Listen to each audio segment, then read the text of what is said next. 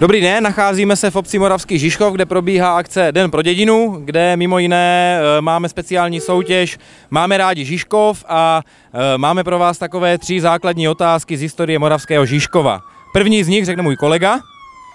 Kolik branek střelil místní fotbalový klub e, v této letošní sezóně do posud? Druhá otázka je, kolik vzorků bylo na letošním koštu vín. A třetí otázka, Kolik autobusových spojů projede ve směru od Bilovic do Břeclaví za jeden všední den? Odpovědi se dozvíte na konci dnešní reportáže. Přejeme hodně štěstí. Takhle netradičně nám uvedli reportáž z akce Den pro dědinu v Moravském Žižkově tradiční moderátoři Adam Pálka a Radek Zabloudil. A vy máte alespoň možnost trochu zapřemýšlet. Mezitím vám přineseme obrazem i slovem, co všechno se tentokrát v Žižkově dělo. Dneska se u nás koná Den pro dědinu a je to akce, která vyšla na termín, nebo jsme ji uskutečnili v termínu, kdy jsme tady mývávali hody.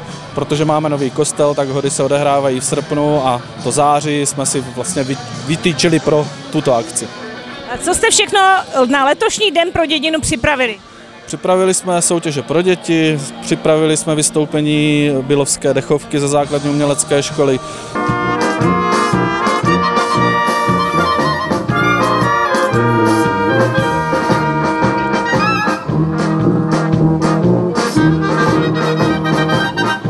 Vystoupení Žižkoviánku a nějaké zábava pro pro naše občany. Pak jsme připravili, domluvili jsme se Sokolních obcí s dobrovolnými jednotkami hasičů, aby nám eh, předvedli každá svoji techniku, takže se lidi můžou podívat na techniku. Máme tady skákací hrady, poníky a večer proběhne koncert skupiny Plus Band, kdy si můžeme zatancovat a šťastně oslavit naše bývalé hody.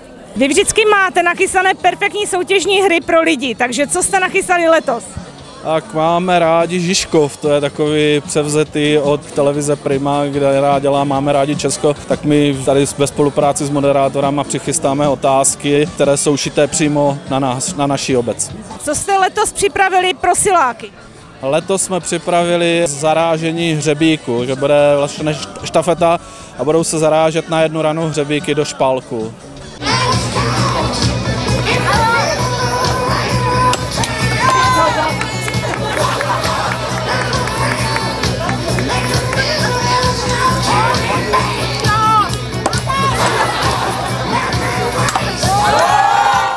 Letos se připravila opět soutěž v pečení buchty a letos byly vybrány Honzové buchty, takže bylo 12 eh, přihlášených eh, pekařek, které připravili a teď probíhá teda slosování, která je nejlepší.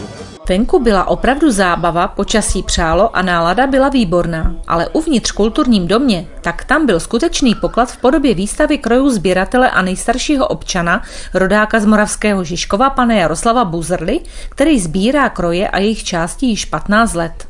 Od kterého roku, jaké nejstarší kroje nebo součásti krojů tady jsou a co jsou to za kroje? Tak je tady kroj sváteční, všední a rekonstrukce jsou tady jako těch hanáckých a jsou tady originály. Takže tady máme originály a i ty, ty repliky. Jo? A já se ještě zeptám, z jakého roku jsou ty nejstarší? Ty nejstarší je tady jedna kordula, která je z roku 1845. Rodiče chodili ještě v kroji, maminka tak chodila do smrti, do 80, že? Tak a tady ještě před, před 30 rokama 80% žen chodilo v krojách. Na dní pro dědinu nemohl chybět ani Žižkoviánek.